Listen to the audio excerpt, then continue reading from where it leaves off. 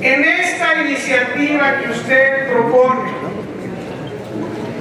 también se penalizaría el transporte privado, o se hace el que se llama Uber, preste el servicio de transporte público.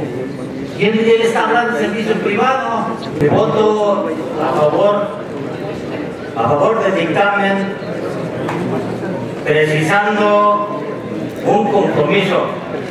Vamos a discutir leyes y vamos a votar para que el pirataje sea un delito grave. Señores, que la pregunta es sencilla. ¿Va, para, ¿Va esta aprobación para el pirataje a todo en general?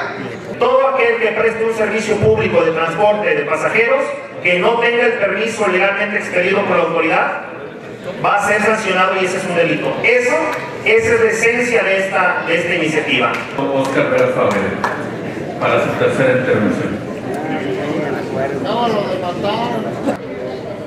El tema del transporte mixto rural en San Luis Potosí.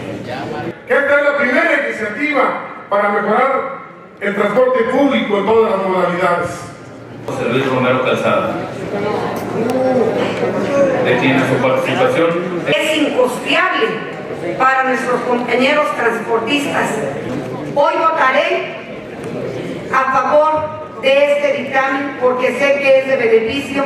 Si la iniciativa se vota a favor, ¿qué va a pasar el día de mañana con todos aquellos que andan de piratas ahorita? O que están prestando un servicio de transporte público y o privado. Que no nos vayamos a confundir con que nada más anden este, persiguiendo los taxis piratas. Hoy, hoy estoy aquí para decirles que esta es la primera de las leyes que se modificará en bien de sus familias. Del dictamen en lo general, los que estén por la afirmativa ponerse de pie. Los que estén por la negativa ponerse de pie. Mayoría por la afirmativa.